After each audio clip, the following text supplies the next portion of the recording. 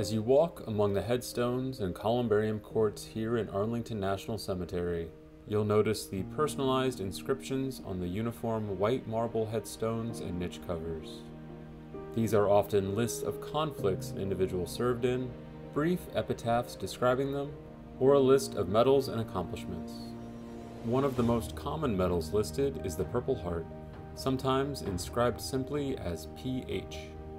Today, the Purple Heart is awarded only to those who have been killed or wounded in action in service of the United States of America.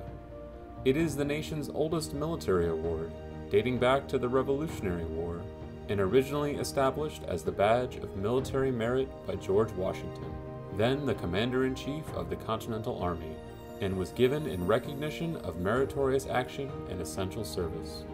After the Revolutionary War, the award lapsed in use until it was revived in 1932 by the U.S. Army, when it was given for meritorious service or for being wounded during combat. The award was made available retroactively to all veterans, who could apply for the medal depending on their previous awards and service records, and throughout the years in various conflicts became a powerful symbol of personal sacrifice in service to our nation. The Purple Heart has been awarded to service members and some civilians across generations and branches of service. From World War I to World War II, the Korean War and the Vietnam War, the Gulf War, and the Global War on Terror.